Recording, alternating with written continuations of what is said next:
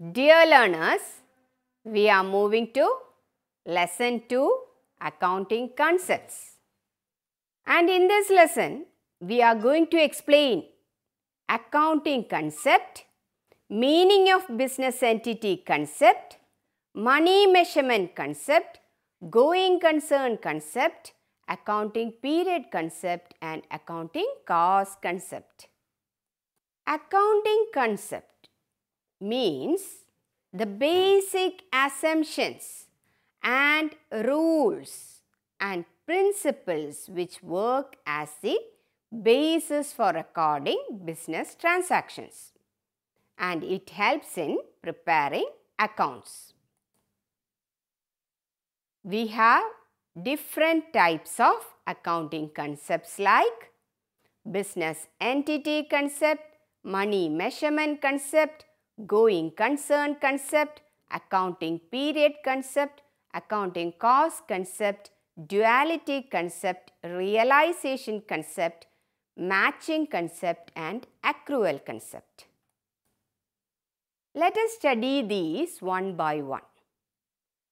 Business entity concept assumes that for accounting purpose, the business enterprise and the owners are two separate independent entities. When the owner takes away from the business either cash or goods for his personal use, then it is not treated as a business expense. Owner invests money in the business. So, how we will consider that? It is considered as a liability of the business. Owner takes away from the business cash or goods for his personal use. It is not treated as a business expense. Basis of accounting is the business entity concept. Accounting records are made in the books of accounts from the point of view of the business. Suppose Mr. Anil started business investing 1 lakh. He purchases goods for rupees 40,000. He purchased furniture for 20,000, plant and machinery for 30,000 and remaining rupees 10,000 is as cash with him. These are the assets of the business. These are not the assets of the owner. That is what business entity concept is emphasizing. So, this 1 lakh which is invested by the owner is the capital. When it is a capital, it is a liability of the business towards the owner of the business. Now, suppose he takes away rupees 5000 in the form of cash or in the form of goods for his domestic use. Withdrawal of goods by the owner from the business, this is the case. So, you will record in the business accounts as drawings. Here you can see business is separated by the owner. So, they are two different persons or separate persons. Business and owner are separate persons. Accordingly, any expense incurred by the owner for himself will be shown as drawings expense incurred by the owner for himself that is drawings. Now business entity concept has certain significance that is it helps in ascertaining the profit, restrains accountant from recording owners private transactions, from recording owners personal transactions. Business entity concept helps in recording and reporting business transactions and it is the basis of accounting principles. This concept is the basis of accounting conventions and concepts. Now coming to money measurement concept. This concept assumes that all business transactions must be expressed in terms of money. That is the currency of that particular country. In our country, business transactions are in terms of rupees. Sale of goods worth rupees 2 lakh. Purchase of raw materials rupees 1 lakh. Rent paid rupees 10,000. All these transactions are expressed in terms of money. So, it is recorded in the books of account. Transactions which cannot be expressed in monetary terms are not recorded in the books of accounts. Which are those items which are not recorded in the books of account? Honesty, sincerity, loyalty of the employees of that organization. Definitely, it will affect the profit or loss of the business. Honesty, loyalty and sincerity will increase the profit of that particular organization but as per the accounting principles or concept or as per the money measurement concept, we cannot value honesty, we cannot value how much loyalty he has, we cannot value the sincerity of the employees. So, it is not recorded in the books of accounts. Records are kept in monetary units records are not kept in physical units according to the money measurement concept.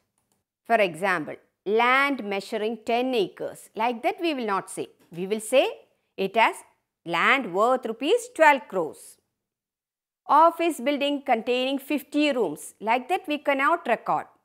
We will record it as office building worth rupees 10 crore. Personal computers of 50 numbers. We cannot say that 50 personal computers are there. We can say only like this, computers worth rupees 10 lakh. 50 office chairs and tables. No, we will say as worth rupees 2 lakh. Raw materials of 100 kilo. We can't say in accounting like this. We can say raw materials worth rupees 3 lakh or 30 lakh like that. So, money measurement concept guides accountants about what to record and what not to record. That is the significance. It helps in recording business transactions uniformly. It facilitates the comparison of business performance of two periods of the same firm. It also facilitates comparison of two different firms for the same period. Coming to going concern concept. This concept states that a business firm will continue to carry on its activities for an indefinite period of time. Every business has continuity of life. We have the assumption that business will not be dissolved in the near future. Significance of going concern concept. This concept facilitates preparation of financial statements. This also helps in charging depreciation on fixed assets. In the absence of this concept, the cost of a fixed asset will be treated as expense in the year at the time of purchase. A business is judged for its capacity to earn profits in future. Next is the accounting period concept all the transactions are recorded in the books of accounts on the assumption that profits on these transactions are to be ascertained for a specific period and this is known as accounting period concept. Indefinite life of the business concern is divided into different parts and these parts are known as the accounting period. For example, we can say accounting period can be for 3 months, 6 months, 1 year like that. Year that begins from 1st April to 31st March of the following year is the financial year. Year that begins from January 1st to 31st December is the calendar year. According to accounting period concept, we have two years we will record like financial year or as calendar year. Significance of accounting period concept. It helps in predicting the future prospects of the business. It helps in calculating tax on business income. That too for a particular time period because accounting period mentions the time period. So, we can calculate tax for a particular time period. Accounting cost concept. This is a concept which states that all assets are recorded in the books of account at their purchase price and not at its market price. Cost of acquisition, cost of transportation, cost of installation are added while recording the cost of fixed asset. Fixed assets are recorded in the books of account at a price paid for them. Which are the fixed assets that you know? Land, building, plant, machinery, etc. So, this is recorded at a price paid for them. Here is an example. A machine was purchased by XYZ Limited for 5 lakh. This machine is purchased for manufacturing shoes. An amount of rupees 1000 were spent on transporting the machine to the factory site and rupees 2000 were spent on its installation. So 5 lakh plus 1000 plus 2000 that is 5 lakh 3000 that is the amount at which the machine is recorded as 5 lakh 3000. Suppose the market price of the same is now 90,000. That is 5 lakh is the cost of installation or cost of the fixed asset. But the market price is 90,000. We will not record the market price. We will record only the amount at which machine is bought. That is the historical cost amount at which machine is recorded is the historical cost. It involves acquisition cost, installation cost, etc. Amount at which this machine is recorded is the cost price that is 5 lakh 3000. Cost concept is also known as historical cost concept. Cost means acquisition cost of new asset. For new assets, Cost means acquisition cost for new asset. And for used asset, cost means original cost less depreciation. Significance of the accounting cost concept. This concept requires asset to be shown at a price at which it is acquired which can be verified from the supporting documents. It also helps in calculating depreciation on fixed assets. The effect of cost concept is that if the business entity does not pay anything for an asset, this item will not be shown in the books of accounts. Next is the dual aspect concept. This is the foundation principle of accounting or basic principle of accounting. Every transaction has dual effect. That is, it affects two accounts. Transactions are recorded at two places. Dual aspect means transactions are recorded at two places. Duality concept is expressed in terms of fundamental accounting equation. Which is that accounting equation? That is assets equals liabilities plus capital. For this transaction, let us identify which are the dual aspects. Capital brought in by the owner of the business. Here, receipt of cash is one aspect, increase in capital is the other. Increase in capital is the other aspect. Goods sold for cash, another transaction. Receipt of cash is one aspect, delivery of goods to the customer is the other aspect. So, dual aspect concept has certain significance. This concept helps accountant in detecting errors.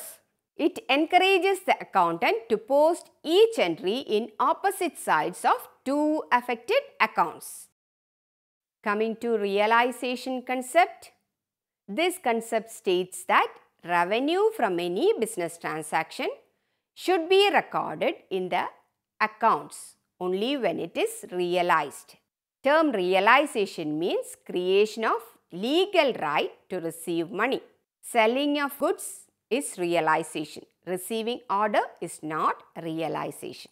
Revenue is said to have been realized when cash has been received or right to receive cash on the sale of goods or services or both have been created. Here is an example. NP Jeweler received an order to supply gold ornaments worth rupees 5 lakh. They supplied ornaments worth rupees 2 lakh. Only 2 lakh up to the year ending 31st December 2030 and the rest of the ornaments were supplied in January 2014. The revenue for the year 2013 for NP Jeweler is 2 lakh. That is, mere getting an order is not considered as revenue until the goods have been delivered. Bansal sold goods for 1 lakh for cash in 2013 and the goods have been delivered during the same year. The revenue for Bansal for the year 2013 is 1 lakh as the goods have been delivered. Cash has also been received in the same year. That is, what conclusion we can derive from this principle? That is, when revenue is realized, that is, goods and services are delivered at that time, revenue is realized. So, significance of realization concept it states that transaction should be recorded only when goods are delivered to the buyer. Next is the accrual concept. Meaning of accrual is something that becomes due, especially an amount of money that is yet to be paid or received at the end of the accounting period. It means that revenues are recognized when become receivable Though cash is received or not received and the expenses are recognized when they become payable though cash is paid or not paid. Both transactions will be recorded in the accounting period to which they relate. The accrual concept assumes certain things like revenue is realized at the time of sale of goods or services. That is, whether the cash is received or not, we are not considering. When the sale of goods is done, goods or services is made means revenue is realized. A firm sells goods for rupees 55,000 on 25th March 2014. Payment is not received until 10th April 2014. That is, next financial year has already started. The amount is due and payable to the firm on the date of sale. That is on 25th March 2014. It must be included in the revenue for the year ending 31st March 2014. Expenses are recognized at the time services are provided. That is, expenses are recognized irrespective of the fact when actual payment for these services are made. If the firm received goods costing rupees 20,000 on 29th March 2014, but the payment is made on 2nd April 2014, the accrual concept requires that Expenses must be recorded for the year ended 31st March 2014. No payment has been made until 31st March 2014, but the services has been received. Person to whom payment should have been made is known as the creditor. And as a concluding fact, I would like to say accrual concept requires that revenue is recognized when realized. Expenses are recognized when they become due and payable without regard to the time of cash receipt or cash payment. Significance of accrual concept. It helps in knowing actual expenses and actual income during a particular time period. It helps in calculating the net profit of the business. Coming to matching concept. This concept states that revenue and the expenses incurred to earn the revenues must belong to the same accounting period. Expenses should be matched with revenue. Example, revenue is rupees 3150 and expenses rupees 2900. This comparison of the revenue and expenses has resulted in a profit of rupees 250. What exactly has been done by applying matching concept? Revenue is more than the expenses means we will get profit. Expenses are more than the revenue means loss. So, with the help of matching concept, we can identify the profit or loss that has occurred in the business for a particular year. Significance of matching concept. Matching concept guides how the expenses should be matched with revenue for determining exact profit or loss for a particular period. Investors will know the exact amount of profit or loss of the business. Dear learners, in this class, we have identified the meaning of accounting concept and we came to know different concepts like business entity concept, money measurement concept, going concern concept, accounting period concept, accounting cost concept, etc. So, hope you understood that very well. Thank you.